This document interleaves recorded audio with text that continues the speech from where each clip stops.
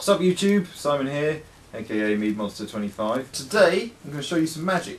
Secrets of magic. But it's not going to be boring magic like you do at the dining room table or uh, on a little stage that you set up in the living room.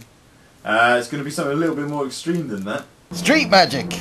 Like, uh, like David Blaine or that Brain Freak guy. So what you're going to need is a, uh, a pack of cards and uh, you're going to need a patsy, some guy you're going to do your magic on. Hey man, I'm just going down the shops, gonna get me some bread, maybe some cheese, maybe a toasted cheese. With those items.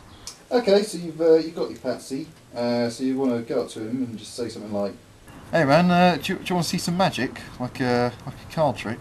And then he'll probably say something like, "Nah, man, you you're crazy. I mean, you're probably just fixing to rob me or something. How do I know you're a magician? so you just say, Well, I've got these uh, got these playing cards on me. Uh, if I wasn't a magician, why would I uh, have these? No, that's a good point, man. You got me. Well, why don't you show me this trick then? Okay, so once you've uh, once you've allayed his fears, you just uh, you want to show him the cards, and then you go. So uh, yeah, if you just uh, pick a card, um, anyone you like, there's 52 of them. So uh, me being able to guess which one you've picked is quite unlikely. Well, that's true, man. Okay, I'm uh, I'm gonna go with this one. That's the uh, Well, well, well, well don't don't tell me what the card is. Just look at it and remember what it is, and then uh, then put it back in the deck wheresoever you desire. Okay, so uh, so at this point, when he's putting the card back, uh, you get your assistant to distract him. Hey man, what's all this? I'm just trying to watch some decent honest magic here, and you're you're coming to me with all this distraction. You're a pest and a bother, man. You need to wait your turn or something. the distraction worked. So now you just got to drop the card on the floor when he's not looking uh, for your assistant to pick up. Once you've done that, you just try and look for the card. Just keep going through, calling out the wrong card. And while you're doing that, you've got to ask him questions. Was it the uh, six of clubs? No, man, you- you're wrong again. That's like the fourth time you got it wrong. You'll never get it right at this rate. What did you get in your GCSE maths exam? Yeah, yeah, I got a B plus, man. I'm uh, I'm quite good at maths. Ace of diamonds? Nah, man, you're wasting my time.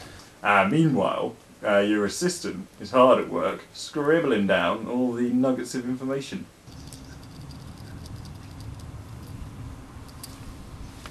And then you've got to get your assistant to hide that piece of paper somewhere on the Patsy's person. On some subtle shiz.